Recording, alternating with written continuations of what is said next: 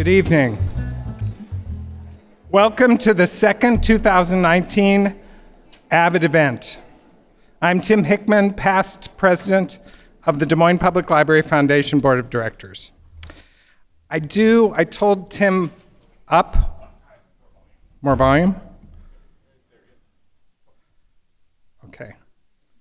Is that better? Okay. I'm Tim Hickman, Hickman in case you missed that. Up? Okay. Oh, and now I can hear myself.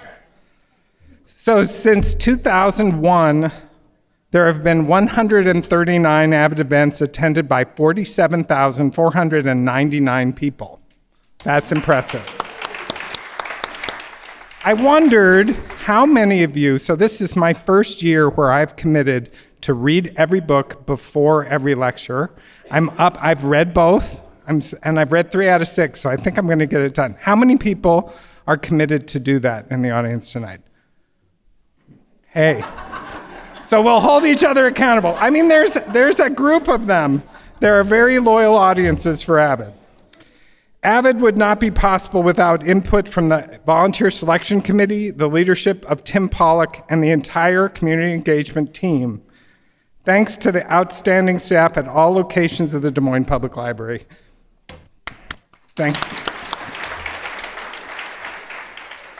That staff provides our community with free, relevant, and important resources that are transforming lives every day. The Des Moines Public Library Foundation and Executive Director Dory Briles raise funds for AVID, summer reading and school readiness, programming for children, teens, and adults, new public access computers, and other library needs. Um, before I, I, have to do some very logistical things, but I do want to say it's a real honor for me to be able to be involved in tonight's presentation. I started reading this book, Laurie Frankel's book, and I thought, this book is going to teach me something, which, you know, that's kind of good. It, and it did teach me something, but in the best possible ways, through a really wonderful family and living with them. It is fabulous. So I'm super excited to hear more from Laurie. Bringing outstanding authors for AVID, offering programs, services, and the latest technology, and improving the library's collection takes more money than the tax dollars can deliver.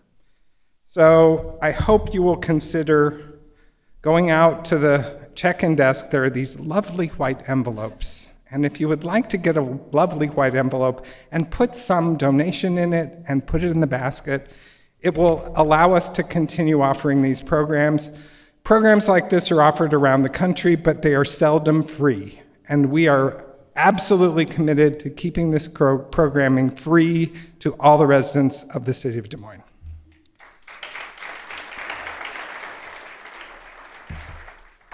So a few other logistics. You will have a small piece like this for your questions and you also have a blue form.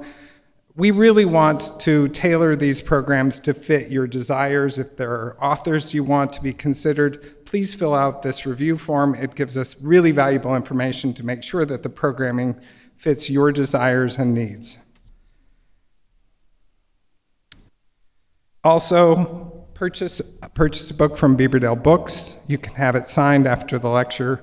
Beaverdale Books is a very generous and donates part of their proceeds back to the Library Foundation and is really our only independent bookstore in Des Moines. Please support them.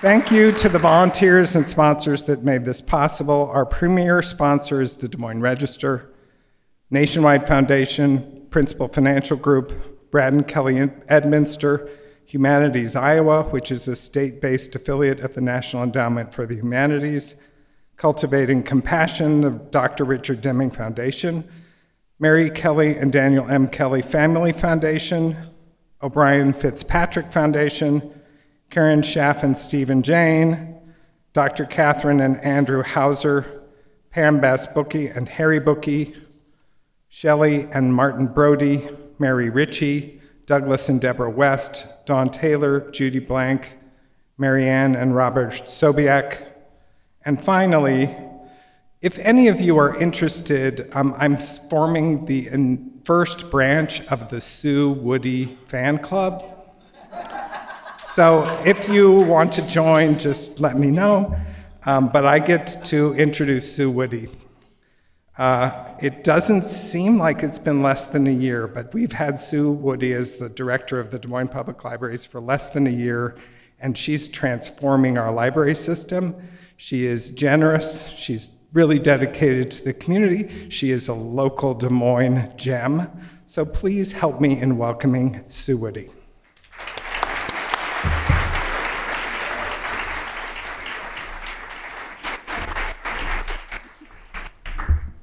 Good evening, I'm Sue Woody. Thank you for coming to this very special AVID event. Laurie Frankel's third novel, This Is How It Always Is, elegantly tells the story about a family who navigate the challenges and questions that arise when its youngest son decides that he is a girl. Claude becomes Poppy, and we all, we readers, we fall in love with Poppy as she grows up and she carves out her own place in the world. This is such an intimate family story, and it's told at a very critical time for our society. This book made me laugh, it made me cry, but most importantly, it really made me contemplate what it means to be a parent and what it means to advocate for your child. This novel is a work of fiction, but it was inspired by Laurie's own life as she herself is a mother to a transgender daughter, now age 10. This is How It Always Is was a New York Times bestseller and one of Amazon's best books of 2017. Also, one of the best books of the year by People magazine, who called it the most sensitively and sincerely told story of 2017. Last fall, Reese Witherspoon chose This Is How It Always Is for her popular Hello Sunshine book club, saying at the time, Every once in a while, I read a book that opens my eyes in a way I never expected. I feel the same way. You'll get a chance to ask your questions on the little forms Tim showed you, and give those to a volunteer after Laurie's talk, and we'll get them to David Chivers. David Chivers is going to be our moderator for this evening's event.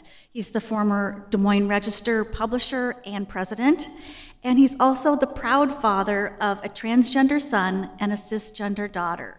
But now, please join me in welcoming Laurie Frankel to the stage.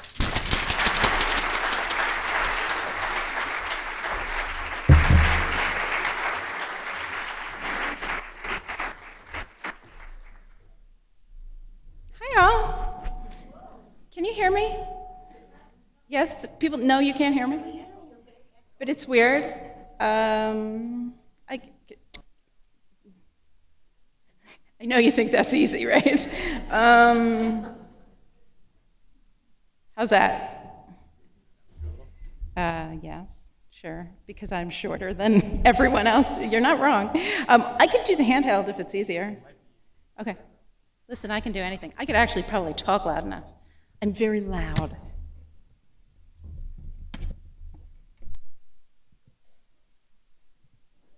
Yes? Better? Look at that. Um, oh, this is better anyway, because I, I, uh, I, taught for many years, and I'm very used to walking around while I do these things. It's difficult for me to, uh, you know, just like stand in one place. Um, I, because I'm antsy, I guess. Um, but I can, I can see that this is echoing. Is this good? Can you hear me?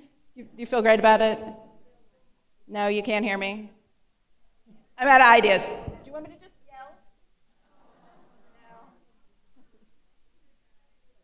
No. Okay, it's the people in the back can hear me. See, you think that you sit in the front and they're the best seats, but no, it turns out, no. Okay, okay, all right. Um, I'll, I'll do my best. I am so happy to see you all here. Um, I can't tell you how heartening it is to look out and see a room full of people at a library who've, who've, come to a library event. One of the things that people have said to me and had to say to me over and over over the course of this book is now more than ever. And I have mixed feelings about it as regards the book, but that's what I think when I look at all of you. Like, this is what we need right now in the world is people who read books and come to the library. I'm so thrilled to see you all. I mean, yes, lots of applause, hardcore. It's, it's, wonder, it's amazing. Um, and, it's, and I've done this a lot. I've done this all over the country, and many rooms are less full than this one. So that's really quite something. Um, and, and not to be underestimated, you all are readers. I'm a reader too. I'm going to talk to you about my book, because that's what you've asked me to do. But I would also talk to you about any other books. All of the books you're reading. We could talk about all the books I'm reading all night long. Um, I'm always happy to talk about, about books, um, writing them and reading them, and you know, we can do that during Q&A. Um, I'm very glad that you are here. And I'm very glad to be here. Uh, this is my first time in Iowa, and, and it's really amazing. Yes, absolutely. Um, I came in yesterday, and I flew in from Minneapolis on a very little airplane, and, um, and there was a thunderstorm.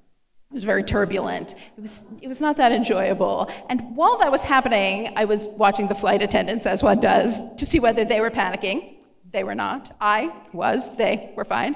And, and I was thinking, like, these are people who are trained to save my life in the event of an air disaster, which, let's admit, has to be like the worst kind of disaster.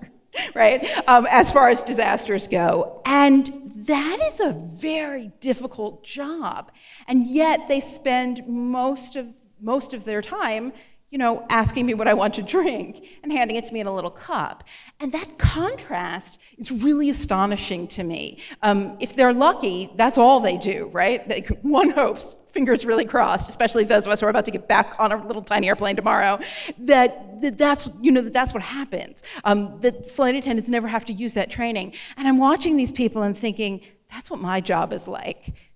Which, let me tell you, my job is nothing like that. I would be terrible in a disaster. So let's hope tonight goes well.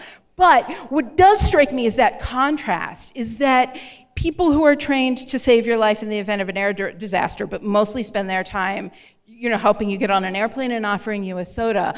I spend most of my job with my butt in a chair writing a book. It takes days and weeks and months and years of just sitting there. And, and it's lots of hours and it's lots of time. Do you want me to go over there? No, it's good. Okay. Um, um, and, you know, and, and then all of a sudden they want you to go out into the world and sell the book. And those things are opposite. Um, they want you to engage on social media. They want you to um, go places and meet people. And then, like, look, I had to put on heels. I, I, mean, I go like weeks without even putting on pants because I work in my house. I do usually, you know, put on at least like yoga pants to walk the dog, but that's not the same thing. Um, and you know, you write online, at least I do. Um, I'm, you know, I'm connected to the internet, and so you have to be the kind of person who can ignore the social media and all of the emails that come in and not check the news all of the time and not care what your friends are doing because you got to sit there and put your butt in the chair and write a book. And then they want you to go out and engage on social media. And those things are, are opposites. And that's a very interesting contrast. It is, and, and therefore, it means that I'm pretty well suited to half of my job and pretty poorly suited to the other half. And that the better I am at one half of my job, less well suited I am to the other half. And I know people who, who, who do both things. Um, that is, I know lots of people who are really, really good at social media and screwing around online, but they're not really good at writing novels. Uh, and so, you know, you, you, sort of, you, you pick your demon, I guess, in this way. Um, in the case of this particular novel, um, we knew going in that it was going to be a little bit of a different ball game than than usual. Um, I had to be talked off the ledge of I can't let this book out into the world, and that's when I got the now more than ever lectures from my from my people. When I started the book, I did not know it was about a transgender child, and uh, well, when I started having a child, I did not know that that child was going to be transgender. Um, when those two things came together and, and turned out both to be the case, then I freaked out and said, never mind, I changed my mind. I can't, we can't let this book out, out into the world. I, I can't do it. And my agent said, that's why we need this book. Um, because of the things that you're scared of. That's why you need to, to tell this story, which is the sort of thing that you know agents say to you. Um, and, and what she said was, we are gonna uh, so um, this is my third book. My second book we sold at auction. You know, we had all of these publishers and all of these bidders, and we bid them against each other, and the agents do what they do. I stayed home and didn't wear pants, actually. Um, in fact, I have a these are the things that come out of your mouth while you're on book tour that I never planned to say. Um, I have a picture of my kid who was at the time like two, having a naked car wash. She's very into cars at the time. Um, she's, na- you know, uh, and that was from that that day while my agent is fielding offers and all of this such, and you know, and then it went to the high bidder. Um, this book we offered to one person, and she said, "I don't have time to take this book on right now," and we said, "Well, wait."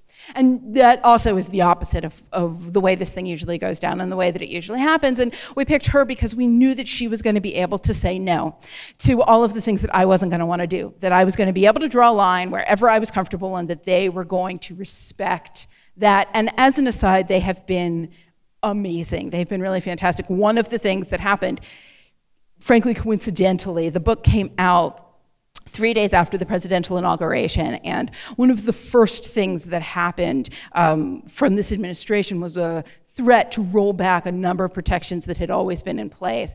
People magazine had just reviewed the book, and so I was on their mind. And so they called, and what they wanted to do was send a reporter to my house and do a big spread, as they do in, in People magazine, and interview me and interview my kid and take a lot of pictures. Um, you know, and, and, and talk about and talk about the book and talk about, you know, our opinions on things and, and all of this such.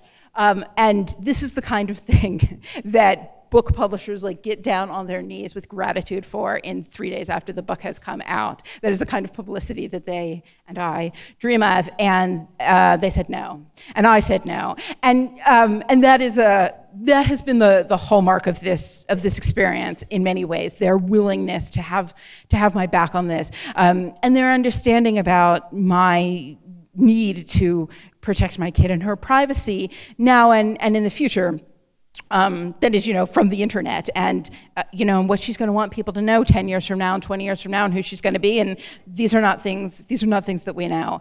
Um, and one of the th ways they wanted me to do that was they said, write the 1,500 words of your story that you do feel comfortable sharing.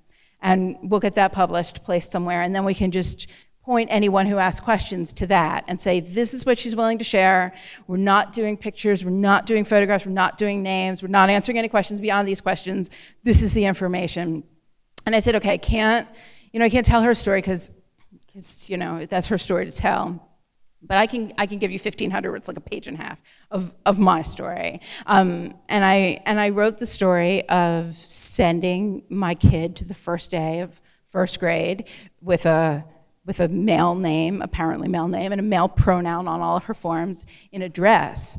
And um, calling the, in fact, I emailed the, the first grade teacher the night before school started and said, I hate to be that parent who's already bugging you before school has even started, but I thought you might want a heads up. This kid who looks like this on your on your roll is, you know, is, is going to come like this to school.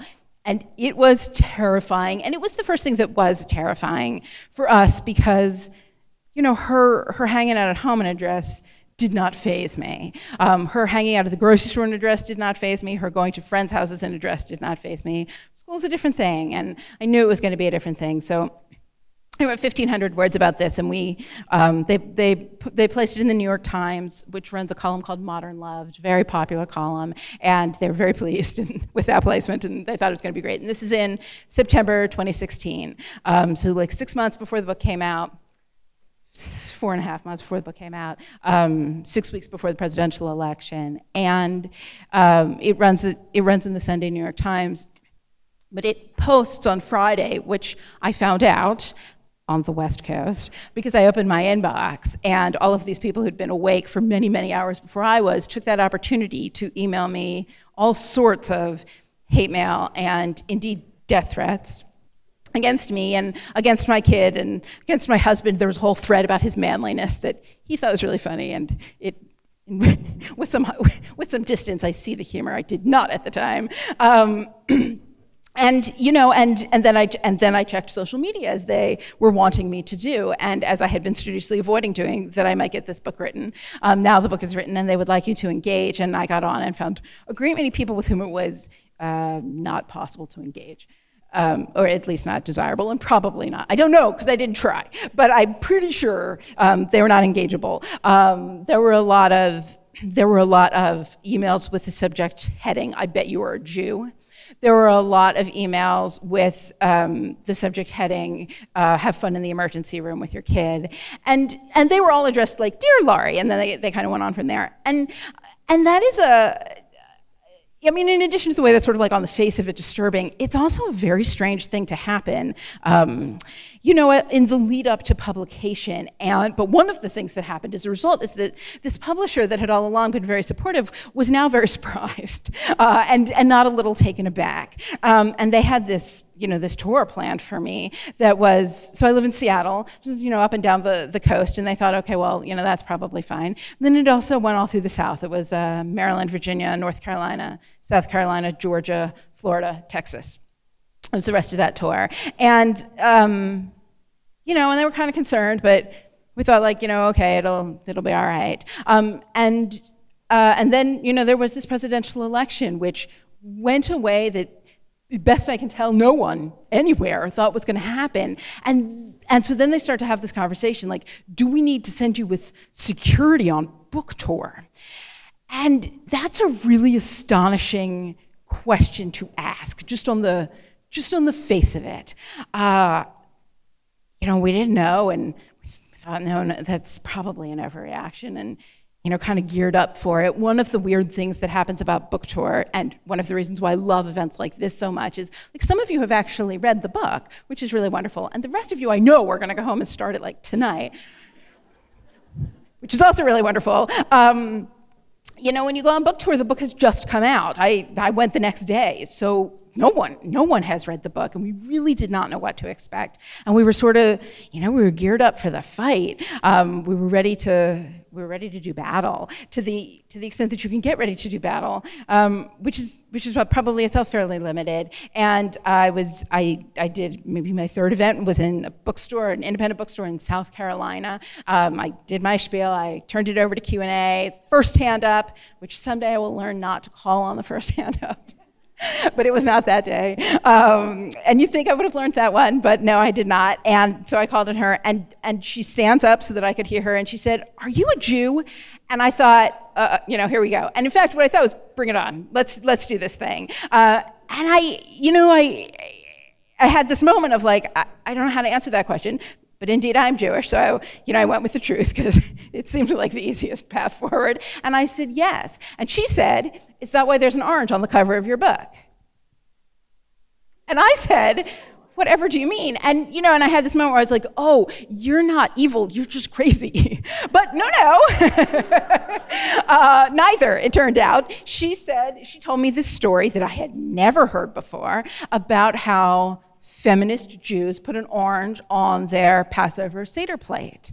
And she thought maybe that was why there was an orange on the cover. Now, I had nothing to do with the cover of this book. I mean, like I didn't even name myself, obviously. That, that's, that's down to my parents. I did not title this book. That's down to my publisher. Uh, I, did not, I did not pick an orange for the cover. In fact, when they showed me the cover, I said, there aren't any oranges in the book. Do you want me to write some in?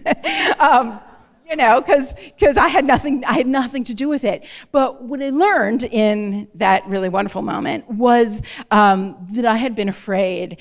And that that was ungenerous, particularly um, because, first of all, I know better, and second of all, much of the point of the book is exactly is exactly that. Don't don't, don't be afraid. The afraid is, is not helping you. The afraid is not getting you anywhere. Um, in fact, what is true is that people who read books and people who come to library events and people who come to bookstore events are lovely, open minded, tolerant people who are not sending you threats via email.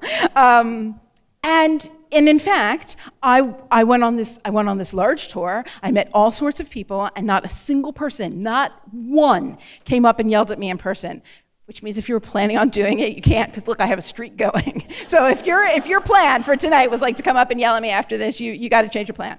Um, because, and it's not, it's not, of course, because everyone who goes to bookstores or libraries agrees with me, obviously. Um, though, of course, I am, you know, often right about all things It's because people who read books are willing to ask the questions. Um, people who read books are willing to to hear to hear about lives that are not like their own, um, and in fact demand it. That's why you read books is to live lives that that are not your life. You know, many times it's because you you can't or would rather not, you know, live that life. Um, you know, think again. See, I'm it's because of this plane that I'm into disaster novels at the moment. But you know, you think of all these disaster novels. You don't yourself want to experience a disaster, but you know, it's nice to think about how it might feel to be in an earthquake now and again, or you know, whatever it is. Um, and you know, and and in a and in a, in a sort of more broad sense, um, it is a question of empathy. It is a question of having someone ask you questions and helping you think about what would I do and, and how would I feel. I am probably, because I am a, a teacher by by trade and no doubt inclination, much more interested in asking the questions than in answering them.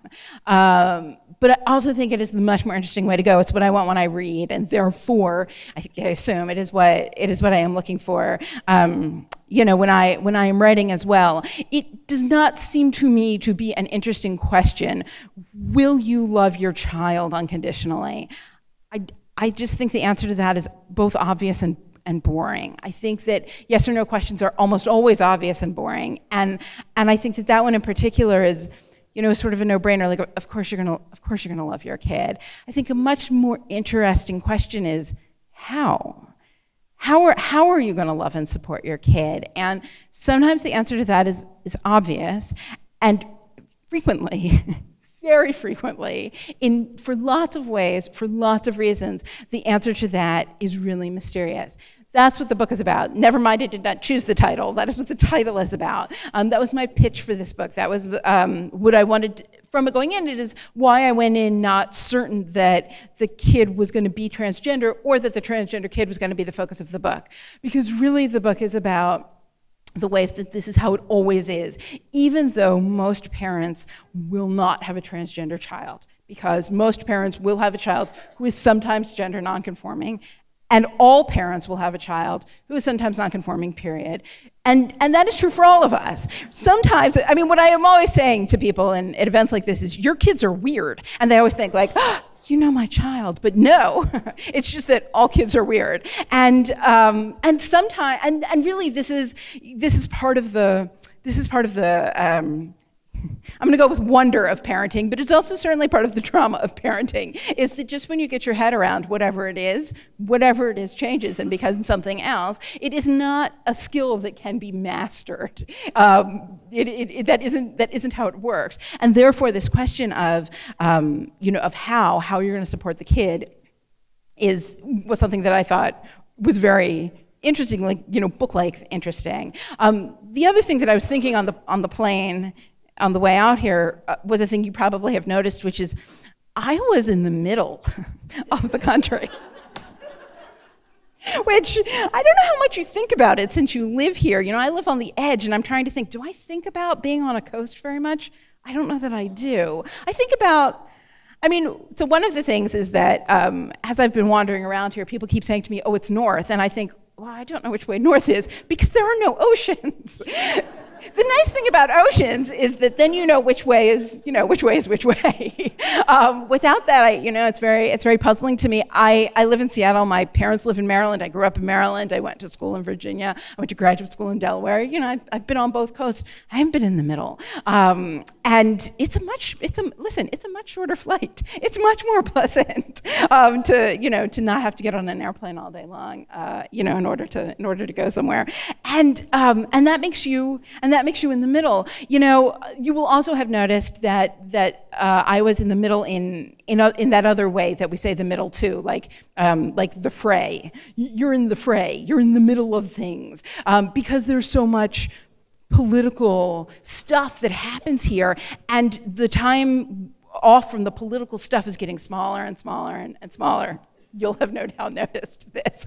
And on the one hand, it's really exciting because it's exciting to be in the middle. And on the other hand, it's really, really hard to be in the middle. And it's the other thing that this book is about for me is the challenge of the middle way, the challenge of finding some place that is in between. It sounds like the answer to lots of problems, and yet it is a very difficult place to be. It's exciting. And it is conveniently located. And I'm sure if you live here, you learn the difference between East and West based on some other landmark. It's very clever of you. Um, but it's not. Um, it's not it's not comfortable it is not easy the thing that drew me to this topic to begin with at the at the very beginning the very seed of it for me was that question of how uh, so many of the issues that are in let's call it the national discourse at the moment are very polarized. In fact the discourse itself is very polarized. People disagree wildly. You believe what you believe and you think that the other side is crazy and possibly evil, and there's nothing they could say that could, that could convince you that they were right, and vice versa. There is no middle. There is no middle ground there. And that's too bad in the first place because it doesn't leave a lot of possibility for compromise. But in the second place, and more importantly, because it doesn't leave a lot of room for conversation. It means we're not talking, we're not, we're not having a conversation. What I thought was so interesting about this topic at the beginning, what drew me to it, was that though I did not think it was interesting to say, okay, so imagine you have a transgender child. Are you going to support that child or kick that child out of the house? I, it, it's not that people don't kick that child out of the house. I didn't want to put any more of it into the world than there already is, and I didn't think there was a story there. I don't think there's anything else to say about that. What I thought was really interesting was that having two parents both show up and say, Great, we're on board, we've got our heads around this, we understand what this is, of course we love you, of course we want to support you, could come down on completely opposite sides of the question of how. And that is interesting. Um, and that both of those sides could be reasonable and loving. That you could be in one position and not think that the people who disagree with you and on the other side of this are crazy and evil. Um, but in fact, just have a slightly different opinion than you on a thing that they don't understand either because, because nobody understands it, what it is to to live somebody else's life completely. And that made it, to me, an interesting and, and important question. Um, it is what led me to the middle way. I know that not all of you have read this book, and I don't want to spoil, spoil it for you, but the third part goes to Thailand, which you might find surprising because I myself found it very surprising. Um, and I was two thirds of the way through writing this book when I got to the end of part two and typed, she agreed to go to Thailand. And then I stopped and thought, oh no I cannot finish this book because I've never been to Thailand. I had been thinking they would do a nice cross country road trip. They go back to Wisconsin, and I've been to Wisconsin, so that'd be great. Um, I probably would have driven through Iowa on the way there. No, I guess not quite. Okay, never you mind. But I would have, maybe I would have detoured if I would known how lovely you all were. I definitely would have. Um, you know, in any case, that like that seemed like a great idea to me, and and then you know, like no, no, it, it, it that didn't work. It it had to be Thailand, and. Um, and so then I, you know, I looked at people's like vacation photos on Google, and I, I put that little guy in, in Google Maps who will, you know, Street View, who like well, I wandered around Bangkok with my little avatar and, you know, peeked into places. I went to a Thai restaurant up the street from my house and like, you know, ordered some pad thai and like smelled it and wrote down some adjectives. I thought like, you know, I mean, I made the whole book up. It's all pretend. Like, you know, it's fiction. I can make it up. And then I called a travel agent the next day and said, yeah, I, I need to go to Thailand. And she said, great, what do you want to see? And I said, I don't know, Thailand, i completely, completely clueless. Um, and I said also, I, I, you know, I need to go next week. I can't, I can't finish this book without going to Thailand. Um, what I did say to her was I also, the one thing I knew I needed to see was a clinic. I needed to see a border clinic. She said they're closed, you, you know, to tourists. I mean, of course they are. You can't like go wander around. Um, so we had to get government permission, in fact, to, to do that. And then I flew halfway around the world, which is commitment to your job um, and a weird business trip. It is strange to travel with people you have made up. Um, but nonetheless, that is, that is, speaking of crazy, right? Um, that is what I did anyway. And, um, and it was for that reason. It was because I was very keen to get to the end of this book and, and not have it be the end. I wanted it to be the middle. It is hard to find the middle at the end of your book because that is one of the things that is that is hard about the middle. It is, it is hard to stay there. I really wanted to end this book without answering the question I wanted to end without saying, you know, and then he went back to being a boy and lived happily ever after, or and then she, she was a girl forever and she knew she always would be, and that was the answer, and everybody was sure and it was great. I wanted to end in the middle. This is a really difficult thing to do in English because we do not have a gender neutral pronoun that we are comfortable using for people. You, like we have it, which is great if you're talking about computers, but it doesn't or objects, chairs, you know, go by it. Um, people don't go, go by it. That's changing. That language is evolving. Um, so I think that, that that particular problem will go away. Myself, I solved it for a little while by writing it in the first person, and then nobody could talk about this child. Then I started writing it in the second person, like you.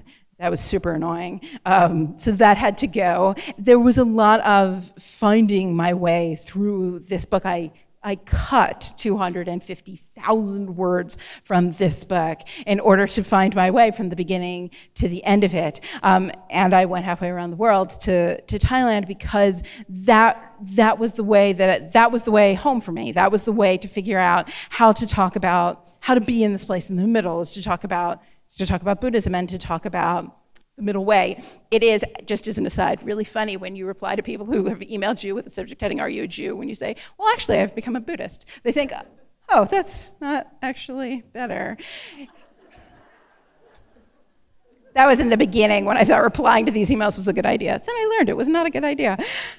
it takes some time sometimes. Um, and, you know, and so I think um, I'm mindful of the time because, uh, because one of the things that I have, have found over the course of things is that if I if I leave room for questions, you will ask them, and, and you should. I think it's really nice that you got little cards to to do that to do that with. I was um, while you were filling them out, they might. See, I just I, I tell you all these things that I don't plan on telling you. My kid just started sex ed this week, you know, at school, and they have them, um, and that's what they do. You know, they fill out the little cards so that they don't have to, you know. And she came home and said, "Why don't we just raise our hand and ask?" And I said, "Oh, well, some people are embarrassed." And she said, "Why?" And it's like, Yes, it says so much about you, darling, that you don't, like, not only are you not embarrassed, but you don't even know why anyone would be embarrassed. Um, but that's what, that's what these cards remind me of. You can ask me embarrassing questions, probably I have been asked them before. Um, don't necessarily take that as a challenge. In any case, um, see, I'm trying to wrap up here, and I had like 18 other things that I thought that I wanted to say. What I wanted to, what I wanted to end by saying is the middle where you all are is a difficult place to be, but I also think it is the only good place to be um, because it is in the place where we are asking the questions. It's not, it's not about you agreeing with everything I think. Um, it's not about you agreeing with everything everyone else thinks. It's about having this conversation. It's about having a dialogue. I think that one of the difficulties of one or the other, of pick this box or this box, of there is no in between, and we are not even interested in hearing about the other side, is that we aren't having a conversation. But that's what books do. Books are all about asking the questions. They don't, they don't answer them. They're not supposed to. That's not their job. What they do is, is ask them. And, um, and that I think is where, is where you all are, in, because I was in the middle, but also because you were in this room right now. This is the way of libraries. Um, this is the way of having an independent bookstore that you're supporting. Um, and, and this is the way of, of starting books that you think, I don't know if I'm going to like this book, and finishing books and thinking, I don't know if I like that book. those are my favorite books um, because those are the books where you are um, have been asked to go someplace that you didn't want to go, and, and you went there anyway, and, and you lived that life for a little while, and you asked those questions, um, and and that is the place where I think we all want to be. So congratulations on finding yourself there, and thank you very much for having me. I'm so thankful to be here.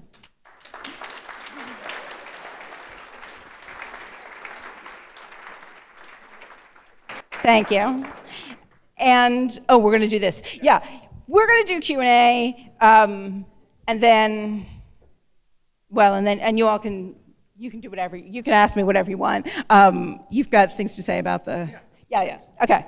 Then I'll shut up. I should, though, say, I, you know, I fit in all the things I long to say to you by talking really, really quickly.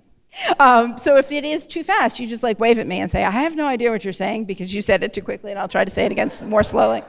Okay. It's not my best thing. And I talk really slow, so it'll be it'll be great. It'll be good. Um, uh, thank you all, first of all, for coming again. Uh, this is a really uh, important topic and uh, really interesting conversation. Uh, I'm David Chivers. I'm the former president and publisher of the Des Moines Register. Thanks for the intro earlier, Sue.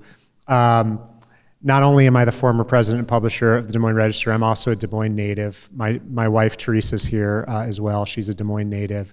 And we grew up with the public library as a central part of how we were exposed to the world. So the work that uh, the library does is extremely personally important to me uh, and our family.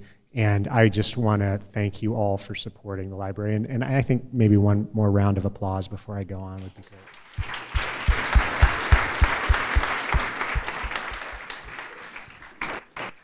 Now, as Sue said, I'm also a proud parent of a transgender son. And so, September 2016, uh, for me, uh, as you were doing your article, uh, was an important month for our family. My, my son, who was 13 at the time, uh, and I'll try not to get too choked up about this, um, uh, came out to us, and it was uh, my wife and I like to describe ourselves as contingency planners and researchers. And this was one contingency, one scenario that as parents we just hadn't expected. We thought about sexuality, we thought about all sorts of you know strange sorts of things that could happen but uh, the question of uh, gender nonconformity uh, and gender dysphoria was just not on our radar so uh, we were very happy to discover this book and uh, it was actually sometime in January or February uh, of 2017 when the hardcover had come out that I walked into my son's room, uh, you know, 13 at the time, and he had this beautiful orange book on his uh, nightstand. And I asked him about it. I said, Oh, what's this book? And he told me that uh, one of his friends, who has since come out as gender nonconforming, but it took her uh, took them two years to do so, uh, had bought the book, read it, given it to him. He read the book, and then I asked him if I could read it. Then my wife read it. Then we loaned it to friends. My wife did it for her book club, uh, and the story's gone on and on from there. And when I found out that you were actually coming, I was so thrilled uh, to you know talk to you uh, get the community at large reading about this topic, reading this book, and uh, I'm just really so glad you're here, Laurie. Uh, so I'm going to start with the first question uh, because that's what I get to do as moderator.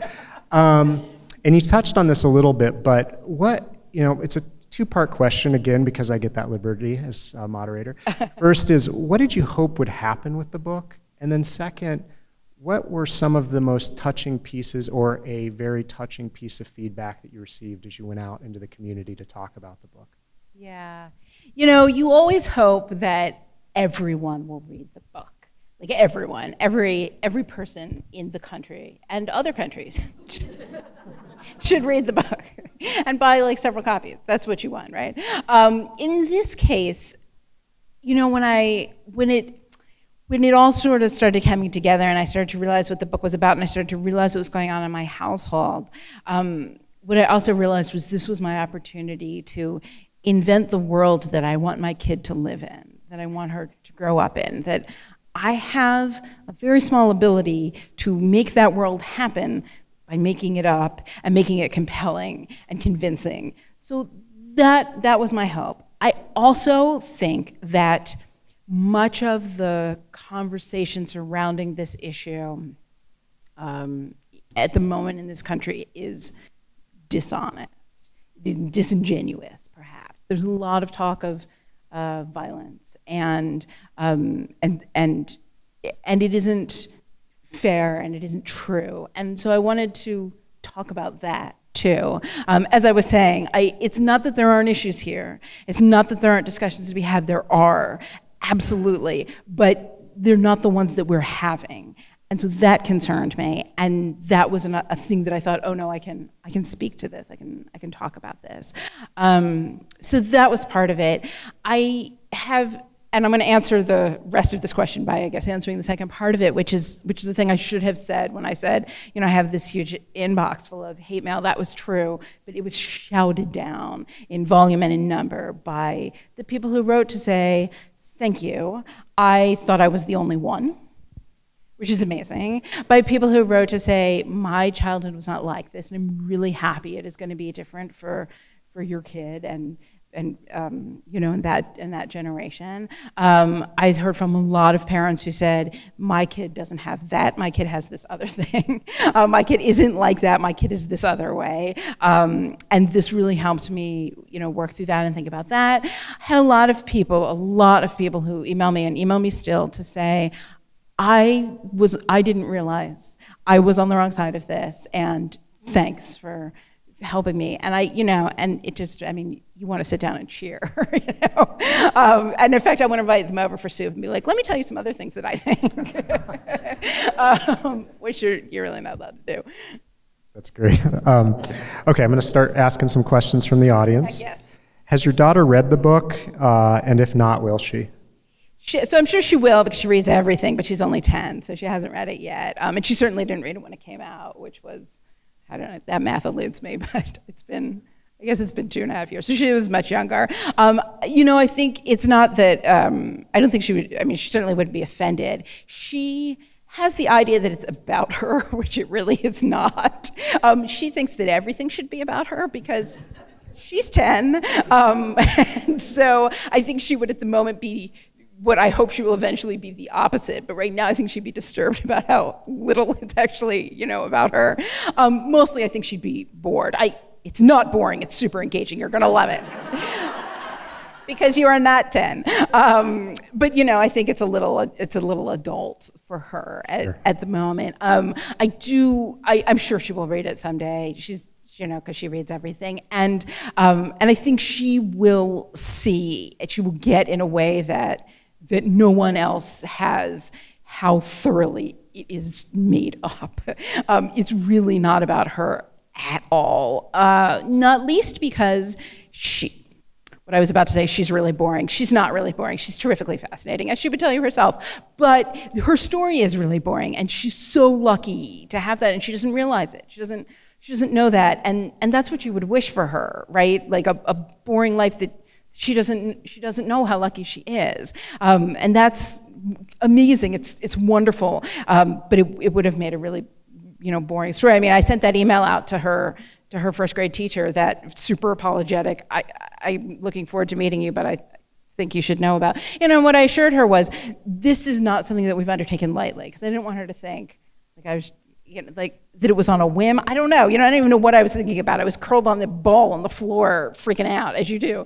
Um, and she emailed me back about three minutes later, bless her, and said, "Oh, I had a trans kid in my class last year. I, have been through gender training. I know all about this. Um, and maybe it's that, and maybe it isn't. But just know that we'll support your kid no matter what, and it'll be fine." And that's, I mean, that was a, that was a minor miracle. It was a really, really wonderful thing, and we were so so lucky. Um, you know, she she goes to the public school that is that we are districted to. So this was nothing but luck. Um, they go around, they sit in a circle on the first day of school, and they go around and they they say their name and, and what they did over summer vacation and their pronouns. They they come up with this as as normal. So that's awesome, but it's not a lot of plot there. So then the plot had to get made up. That's great. Yeah, and I think you I heard, we were talking earlier today, and you said that you know there's a GSA, a, great, a gay straight alliance yeah. in the elementary school. the elementary school, yeah. which is pretty incredible. It's, it is. It's a little weird, but it's. Yeah. uh, next question: Which character in your book uh, do you most relate to? Oh, that's a really good question. Um, and I don't know the answer to it. You know, they become real people for me. So that's the other way, I suppose, in which they diverge from my kid, who's also a real person, of course, but uh, um, in many ways less knowable because you know other people are mysterious to you. You never really know what's going on in another person's head, especially a ten-year-old. Um, and these people, I know everything that's going on in their head because I own them. I made them up. They are my people. Um, so you get very close with them. I think that when other people read my books, um, people who know me, they identify me with one of the characters much more than than I do. They feel very different to me because they feel like pretty fully realized people. Um, you know, I have some things in common with the mother in this book. obviously. Um, among other things, her worries and anxieties are mine. And part of what happens in book writing is you're playing out the nightmares um, as well as the dreams. And so that certainly happened in, in this book, and they're hers and they're mine. she's a doctor, and I knew I was going to need her to be a doctor going in because I was going to need somebody to explain all this medical stuff to the reader. But I am like the opposite of a doctor. I am not, as I said at the beginning, I am not good in a disaster. Blood is not my strong suit. So, um, so I'm very different than, than her in that way. And, and in fact, much of the research that had to happen in this book was, was that because I don't know what I was talking about. And, um, and in that way, you know, of course, I'm much more like the father, not in attitude, but, you know, he's a writer and, and I'm a writer. Still pretty healthy mix of both. I set out to switch the gender stereotypes for the two of them as much as possible. So, you know, she's the breadwinner and she's the scientist and she's the doctor and he's the stay-at-home dad and he's an artist, he doesn't make any money and, you know, all this stuff. Um, but that only went so far because will I or no, she was the mother and, and he was the dad, and there was nothing I could do about that. Sure, sure. Um, next question here. How would you like to see schools supporting transgender youth? Oh gosh, this here is a conversation we could have for an hour. Um, you know, as I said, I'm very, very grateful to my kids' school. Um, and in, in lots of ways. Um, curricular not least. They, um, they have been really, they have been really wonderful and they are not accommodations that they're just making for, for me and my kid. They, um, this is just part of their, this is part of their curriculum. This is part of their approach. They've been great, but, but really, I think in many ways, the answer to that question is to do as little as possible. Um, one of the things that elementary schools do best is accommodate kids' needs. Um, kids are really diverse in their needs, and you know, and in many ways, that's the that is so much of um, what elementary school um, thought and, and effort and uh, and, and curriculum, but also you know approach and, and resources goes into that notion of accommodation. Trans kids don't need accommodation. They they don't need their own bathroom. They they don't you know, and in fact, probably you, you wouldn't, you, you won't know. There are very few elementary schools where they're, you know, like having kids pull their pants down on the way into the restroom. If they were, that's what you would be worried about. Um, you just kind of got to let these kids alone and let them do their own thing. There are lots of ways in which the answer is less intervention rather than more intervention. Um, I will say though that that to the extent that they are picking books and picking guest speakers and doing things like going around on the first day and asking kids what their pronoun is that's making the world better for everyone not not just trans kids. That isn't accommodating specific kids. That's just making the world a better place you know, for everybody. Um, and the extent to which they're linking this. So one of the things, for instance, in our school is that some of the trans curriculum has come tied in with the Black Lives Matter curriculum. And that's a good metaphor. That's a good, that's a good place to look at, um, you know, where these things cross over. That's, that's a good argument. And it's one that kids can understand. Um, and so I think that that's the kind of thing that, it, you, that, I, that I think doesn't even get called accommodation because it's, it's, it's more like educating. Yeah. Uh, you know, I, I remember in the book, the, the dad, there's the conversation early on with um, the administrator of the school in Wisconsin, the, I forget what you called it, advocate, advocating for what, you know, from the district, and uh, the, the teacher, and the dad just having this moment of sort of monologuing about, you know, isn't that what you want for every kid to be comfortable beyond sort of these restrictions that society puts on them and uh, you know, that resonated really true with me, and, and I think it more it also illustrates you know the point that you were just making. Um, it's it's not about transgender kids as much as it is about allowing for a spectrum of full expression uh, that every kid can feel comfortable and true in, and, and, and I really appreciate that message in this book. Um, next question: Did you ever think of writing a more final ending, a more and I Yes, as I said, I cut 250,000 words for this book. I have all sorts of endings for this book, dozens, dozens of endings for this book. Um, I, I did, I did, um, but I, as it went on, as I say, I was really, I did not want to answer the question. So this is also an email that I get all the time. People saying, what happened? I want to know what happens next. Um, part of the reason I did not answer that question is it's not an epilogue. It's, it's really another book. Um, you know, puberty is a, is a whole new ball game. and, and so it, it couldn't, it couldn't get tacked on to the end. It, it would be a whole different thing. So then people say, well, you know, are you going to write a sequel? Um, which I don't think I am going to, although enough people have asked. My publisher thinks maybe, maybe you are.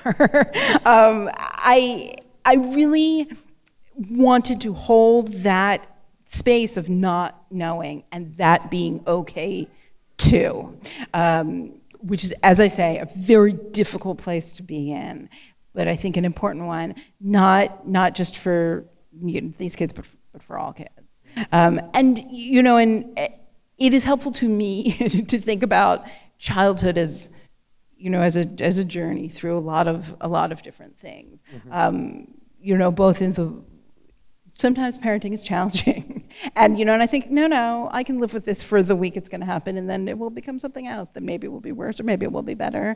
Um, and, you know, and I just think that that's a useful way to think about things. I think that the plans that we make and get wed to almost never work out um, until flexibility is and being in that middle place is a good thing. So, so the short answer is yes, I thought about it, but not. And in fact, I've drafted it out, but not very much because I really, really wanted from pretty early on to end the book without answering the question. Mm -hmm. Great. Uh, this question. Um, this question is from the audience as well. Do you have a Carmy in your life? It's this, uh, the, the, person who asked this question said it's my favorite character of the book.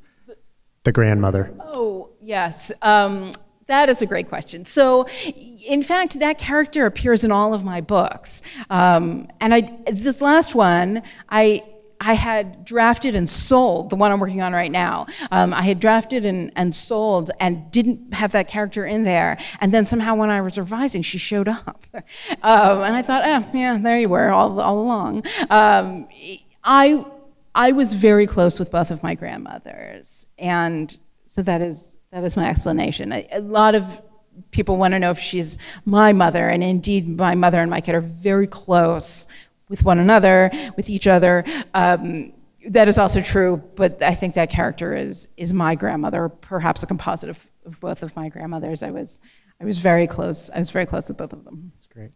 So um, there's I, am sure there's a few. Not only are there a lot of readers in the audience, but I'm sure there's a few writers in the audience or aspiring writers. Could you talk a little bit about your writing process and how you go about uh, crafting a crafting a novel? Yes, I can. As you can see, as you will guess from my cuts folder, it is not linear. It's not a linear process. Um, I don't know what the book is about at the beginning, and I definitely don't know how it's going to end. And I realize things along the way that change everything that came before and that result in, um, in a lot of revision of, of the beginning because because I didn't because I didn't know it because I didn't know it going in. Um, this one I thought that fairy tale was going to keep me grounded and on track, and I thought oh it'll be easy and it'll help the reader follow along where we are, and, and it'll be easy to write because you know it's like a fairy tale. How hard can that be? and then I had to write every time I changed something in the book because you know the fairy tale parallels the rest of the book. Every time I changed something in the book, I had to change the rest of that fairy tale. It drove me insane. Um, I I it doesn't take me a long time. I write faster than most people I know. This one was about a year door to door, and and that's pretty quick as you know for for a novel. But it is it is just a disastrous process. Mm-hmm. Um, what I like about it is that at the beginning I have a a, a word count. So I write it when I'm drafting. I write a thousand words a day at least always. If I come to the end of the chapter and I have written 998 words, I will write the first two words of the next chapter. I, uh, I'm, wed, I'm wed to that, um, but only on days that I can write, which is not every day because because I have you know because I have a child um, and and you know book tour and, and all the things you have to do. Um, when I can write and when I'm drafting, I write a thousand words at least every day. And most of them are terrible and most of them are cut. But the beauty of that, that process is that when I get to the end of the day, it's no matter how bad they are, they're there. So I did what I needed to do. I can feel really good about myself and, and pleased and, and proud. Um, never mind, I'm going to go and, and, you know, and cut them later. And then when I'm revising, I don't I don't have a rule about cutting a thousand words a day, but it looks more or less like that. Yeah. It's a lot of it's a lot of cutting. Um, I I start to know that it's working when the characters start to make their own decisions, when I'm not dictating what it is that they're doing. I start to know that it's working when I write books like I read them, where I'm surprised about what happens next, where something happens that I didn't see coming. Um, that, that, is a, that is a hint that it is working. You know, I sit down at the beginning of them each time and think like, I will outline this time, or make a diagram. I will, I will draw it out and, and it'll be great. But it's, it's just, it's not available to me. And in fact, um, my agent and my editor both begged me this time for, um, so in between that book and the one that I'm writing now, I wrote another book, which my agent really liked and my editor really did not. And so they said, could we see the first 50 pages? And I said, sure. But I, it turned out I couldn't, I couldn't do that. I can't write 50 good pages without without writing to the end first. And I'm trying to explain this to them, and they, I mean, these are people who deal with writers for a living, and for their life they could not understand that. um, and yet I, I have to write to the end several times before the beginning starts to take shape. It is, it is unfortunate, it seems to me, that it is, um, that that is the process, but, but, but it is. And, you know, and then mostly, um, when my kid is not in the house, I write. And because she is home a lot, because school is brief, um, and because I got into this habit, you know, I wrote my first, much of my first novel when she was a baby. You know, you, you write when the baby sleeps. You um, pay $20 an hour for childcare, and you are not going to spend that time screwing around online. And, um, and then, you know, you think, oh, school, school will solve all of my problems. And they're like, oh, right, but let's make a list of the holidays and the half days, and we don't go to school on Wednesdays, and, you know, all of the things. Um, so if she's out of the house, I sit down and, and write. I'm very, I'm very diligent. I'm just not very linear. That's great. Uh, this is the last question, and you can say, hey, look, I, that might be too personal. I don't want to answer it, but um, I'm going to ask it, and then you can do that. Um, how, you know, you mentioned this when you were talking before that you sort of had a panic moment when you were writing the book and you were like, I can't do this.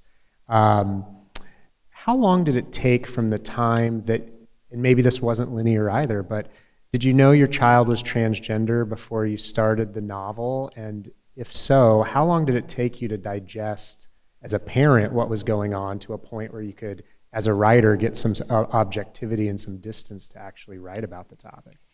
Yeah, that's a good question and a hard question. It, I mean, the short answer is no, I didn't know. Um, one of the very interesting things, particularly for parents of really, so my kid was really young um, when this went down. She's about five and a half. Um, one of the things that happens is that parents who are more I don't know how I want to say this, upset about it at the beginning notice more quickly. So, in fact, you know, I remember having conversations with her, you know, like when she was learning to talk at like 18 months, where she was saying she wanted, she did not want to wear pants, she wanted to wear skirts. And, you know, I thought that was about like waistbands, because, like, listen, pants are not comfortable. Uh, and I thought, oh, well, we'll get you some sweatpants and it'll be fine, you know, because I didn't know. Um, and you know, and and she was always she was very interested in you know in dolls and in and in clothes um, and in and in playing dress up and in wearing dresses while she was playing dress up and um, and in pink things and you know all of the stereotypical stuff none of which set off any bells for me of any kind. I just you know i just i thought like yeah pink is awesome. I also love pink you know? The it's i mean it's interesting because i have now met so many families and um, it is the parents who have the hardest time getting on board, who you know, who are frankly alarmed that their son wants, you know, is always choosing pink things. So it was, I think, going on a lot, a lot longer than than I than I knew. I also, at the beginning, wanted very much to say to her, if if who you are is a boy who wears dresses, that's fine. And if, if people don't like it, then that's too bad for them. And because I didn't want to push her one way, you know, or the other way. Um, so all of that was happening. and then, you know, I mean, this is my job. So my brain was, was doing its thing and I was doing a lot of, of research, you know, by way of, you know, of parenting as you do, where you're thinking like, oh, I'm, I'm going to read this book. Or I've come across this article that that I might otherwise have let go by that in fact I'm going to read because it applies to my life. And um, you know the sort of nitty gritty of of hormone blockers, I thought was a really, really interesting question. That's you know what I was saying before. I think there are really good arguments on lots of sides of that question, and and that that's when I started thinking, oh, this would be a really good good thing to do. I was I was wed to those five kids and a you know as wide a range as I could of of how kids are weird um, going in, and so I wasn't sure who the focus was going to be or or what was going to happen, um, and so then things you know came together. Those two things came together slowly. It was it was not it was not clear to me that um, the child was that my child was going to be was going to be transgender for a really long time, even after, I think it would have been clear to other people, even after she started using the girls' bathroom and going by female pronouns. And, um, you know, and I, just, and I just didn't, what I did not want to say to her is like, well, you've started, so you got to go all the way. I wanted to say like, you can be in the middle, the, the middle will also, will also work. Um, and it was um, very keen to do that as slowly as I could in the book, which is also why it had to get cut a lot. Um, my agent kept saying, I'm sure it is this way, but it's just very boring. could could some plot could something happen? Um, and you know, so that's so it had to get it had to get sped up. But I think in life it is often a very slow process. This is one of the things we were talking about this morning. Is this this notion of coming out sometimes sometimes applies and, and sometimes it's very different, particularly if you're five. That's great. Well, I want to thank you again, Laurie, for, for joining us. And, uh, you know, Laurie will be signing books outside the room. Books are available to uh, purchase courtesy of Beaverdale Books. Uh, I know you all know Beaverdale Books. What It's a great little gem uh, in our town. Uh, thank you all for attending. Our next AVID event will be uh, on Monday, April 22nd featuring Chigozie Obioma. Go to uh, dmpl.org slash avid for more information on all of the upcoming uh, writers. And please remember, you have blue forms. Uh, please take a few minutes to fill that out, hand it to the volunteers or the information desk outside, uh, and we will take the programs if you'd like to recycle them. Again, thanks for coming, everybody.